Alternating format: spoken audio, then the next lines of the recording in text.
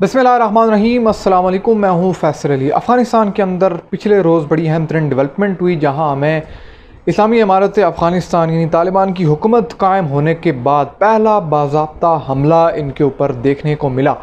इब्तदाई तौर पर जो हमने वीडियो आपके सामने रखी थी, और उसमें ये मामला आपके सामने रखा था कि इस वाक़े की ज़िम्मेदारी जो ग्रुप कबूल करेगा, उससे इसके जो आफ्टर कम्स हैं, इसके बाद आने वाली सूरत हाल जो है, उसका अंदाज़ा लगाया जा सकता है या इस हमले में मुलवस ग्रुप की बाकायदा तौर पर ज़िम्मेदारी कबूल करने के बाद तमाम तर सूरत हाल का अंदाज़ा हो सकेगा कि हो क्या रहा है। तो वही हुआ कि इस हमले की ज़िम्मेदारी दाइश ने कबूल की है और उसी के साथ साथ इस वक्त तालिबान से अफिलेटेड कुछ मीडिया ग्रुप्स जो हैं, वो इस चीज़ का भी दावा कर रहे हैं कि इसमें सिर्फ़ दाइश इंडिविजुअली इन्वॉल्व नहीं है।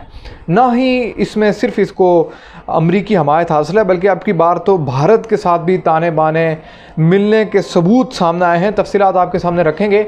आगे बढ़ने से पहले वो तमाम तर लोग जो हमारे चैनल पर नए हैं, चैनल को आपने ज़रूर सब्सक्राइब करना है। वीडियो को लाइक कीजिए और बेलाइकन पर भी क्लिक करें, ताकि आप आने वाली अपडेट से आगाह रह सकें और अपना फीडबैक कमेंट सेक्शन में ज़रूर दीजिए।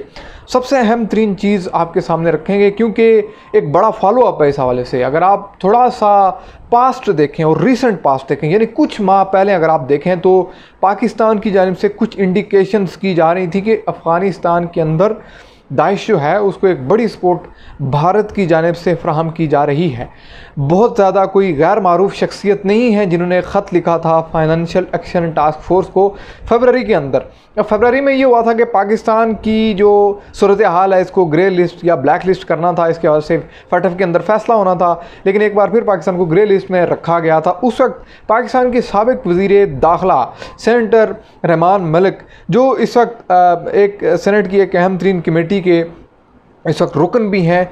इनकी जानब से ख़त लिखा गया था फैटफ को और उसमें ये डिमांड की गई थी कि भारत पूरी तरह से दाइश के ट्रेनिंग कैंप्स चला रहा है इनको सपोर्ट फ्राम कर रहा है और न सिर्फ़ वो ये तमाम तर गंद कश्मीर में डालकर कश्मीर की जो मोमेंट है उसको ख़राब करेगा बल्कि अफ़गानिस्तान के रास्ते से पाकिस्तान पर जो है पूरी तरह से आप कह सकते हैं कि जो जो एक एक, एक किस्म की इन्वेजन है। एक इंटरफेरेंस है, दहशत गर्दाना हमले हैं, वो करवा रहा है दाइश के ज़रिए से।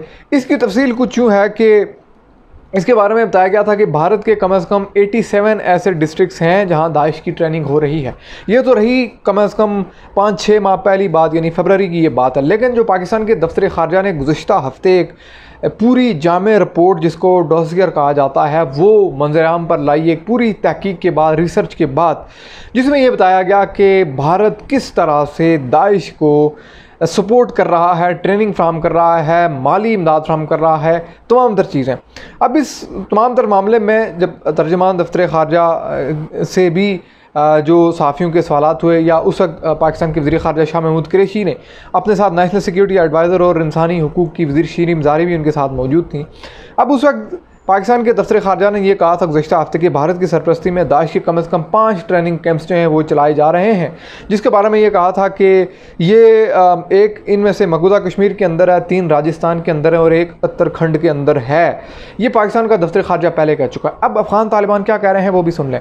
वो ये कह रहे हैं कि उनसे एफिलेटेड जो मीडिया है, इन्होंने ये कहा कि एक तो छब्बीस अगस्त को जो काबुल एयरपोर्ट के बाहर धमाका हुआ और ख़ुद कुछ धमाके हुए, लोग मारे गए। इसमें इंडिविजुअली दाइश इन्वॉल्व नहीं है। इसमें कहीं ना कहीं इसके लिंक्स जो हैं वो भारत से मिलते हैं और बिलखसूस ये इस वक्त सवाल उठाए जा रहे हैं कि क्या काबुल एयरपोर्ट समेत दीगर जो हमले हो रहे हैं, जो गुजशत रोज़ एक हमला हमें देखने को मिला, सुबह नंगरहार के अंदर, फिर काबुल के अंदर यहाँ पर दाइश की इन कार्रवाइयों के पीछे भारत का किस तरह से हाथ है? तो एक बहुत ही अहम तरीन चीज़ इस वक्त मंजर आम पर आई है।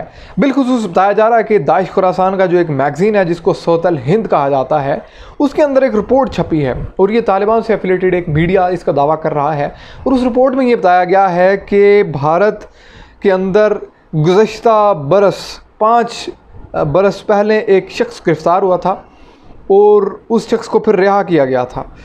इस शख्स के लिंक्स फ्राहम किए गए हैं, साबित किए गए हैं मौजूदा काबुल के अंदर धमाकों के हवाले से। यानी कि दाइश की जो मौजूदा कार्रवाई अफ़गानिस्तान के अंदर हो रही हैं, इसमें वो दाइश के लोग शामिल हैं जो भारत के अंदर ट्रेनिंग हासिल कर चुके हैं, तरबियत हासिल कर चुके हैं, वहाँ मुख्तफ ट्रेनिंग कैंप्स में रहे हैं और अब वो अफ़गानिस्तान के अंदर कार्रवाई कर रहे हैं। ये पाकिस्तान नहीं कर रहा, ये अफ़गान तालिबान से एफिलेटेड एक मीडिया कह रहा है। पाकिस्तान ने जो कहा, वो एक हफ़्ता पहले दफ्तर ख्वाजा ने मुकम्मल डॉसगर पेश किया। फिर छः से सात माह पहले हम देखते हैं कि फरवरी के अंदर पाकिस्तान के सबक वज़ी जो दाखिला हैं, रहमान मलिक, वो फटफ को एक ख़त लिखते हैं और उसमें वो ये डिमांड करते हैं और ये बताते हैं। क्योंकि वो ख़ुद भी इस मामले पर काफ़ी काम कर रहे हैं और उनकी एक बुक भी जो है वो इस वक्त उस पर काम हो रहा है। रहमान मलिक, उन्होंने ये दावा किया था कि भारत के अंदर मुख्तलिफ़ डिस्ट्रिक्स के अंदर दाइश को ट्रेनिंग फ्राहम की जा रही है। अब इस वक्त सवाल ये उठाया जा रहा है कि क्या भारत काबुल एयरपोर्ट पर ख़ुद कुछ हमलों में मुलवस है? क्योंकि दाइश खुरासान का जो सऊतल हिंद एक मैगज़ीन है उसके मुताबिक गुज्त माह जो काबुल एयरपोर्ट पर ख़ुद कुछ हमला और आ, हुआ। इसमें जो शख्स जिसके बारे में बताया जा रहा है ये खुद कुछ हमला आवर जो है पाँच साल कबल भारत में गिरफ़्तार हुआ था। लेकिन इसे रिहा करके अफ़गानिस्तान के अंदर स्पेशल टास्क पर भेज दिया गया खसूस मिशन पर। अब एक चीज़ बड़ी अहम है कि भारतीय कौंसलेट्स अफ़गानिस्तान के अंदर से बंद होने के बाद भी इस तरह की सूरत पेश आ रही है। तो ये वाज हो रहा है कि अब दाइश के तल्लक जिस तरह से सी आई ए के साथ हैं या सी आई ए की एक प्रॉक्सी रहे हैं जिसका सबक अफ़गान सदर हामिद करज़ाई दावा करते रहे दो हज़ार सत्रह में उनकी एक अहम तरीन स्टेटमेंट जो हम अक्सर हम आपको सामने रखते हैं जिसमें वो ये कहते हैं कि इनडायरेक्टली अमरीका दाइश को सपोर्ट कर रहा है। और हालिया कशीदगी के दौरान किस तरह से दाइश की कार्रवाइयों में इजाफा हुआ अमरीका के पास इंटेलिजेंस रिपोर्ट्स और सिर्फ़ अमरीका के पास ही और आ, फिर इस दाइश के हमला आवरों को निशाना बनाने के लिए जो हमला किया गया, वो फेक निकला, वो आपके सामने गुजशा रोज़ की वीडियो में हमने आपको बताया था। वो ये कह रहे थे, अमरीकी पेंटागोन ये कह रहा था, हमसे गलती हो गई, ये दस मासूम लोग मारे गए। अब सवाल ये है कि क्या ये हमला आवर जिसने काबुल एयरपोर्ट पर ख़ुदकुश हमला किया, वो भारतीय खुफिया एजेंसी से रबते में था तो इसके कभी इम्कान ज़ाहिर किए जाने के वो रबते में था, क्योंकि जब ये चीज़ पाकिस्तान का दफ्तर खारजा कह रहा है कि भारत के अंदर दाइश की ट्रेनिंग हो रही है सात आठ माह पहले पाकिस्तान का एक सबक ज़ीर दाखिला कह चुका है कि दाइश के तरबियती मराकज़ भारत के अंदर हैं।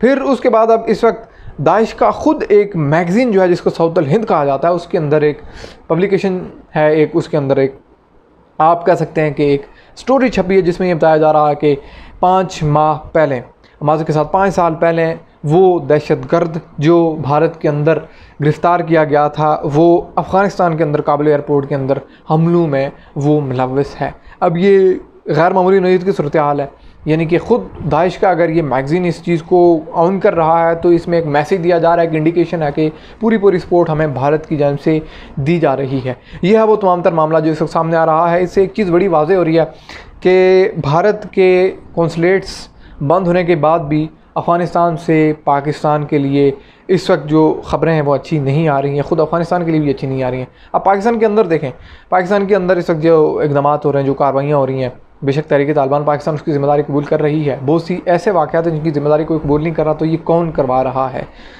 ले दे के तमाम तर चीज़ें जाती हैं भारत की जानब, जहाँ पर तरबियती मराकज़ का इंकशाफ हुआ। तालिबान भी ये कह रहे हैं, और काबुल के अंदर, काबुल एयरपोर्ट के अंदर, अगस्त के अंदर, खौफनाक बम हमलों में भी भारत का हाथ साबित हो चुका है। अब देखना ही है, इस पर तालिबान के हमत अमली इख्तियार करते हैं और मामला किस जानब जाते हैं। चैनल को आपने ज़रूर सब्सक्राइब करना वीडियो को लाइक कीजिए और फीडबैक कमेंट सेक्शन में ज़रूर दीजिए। अल्लाह हाफ़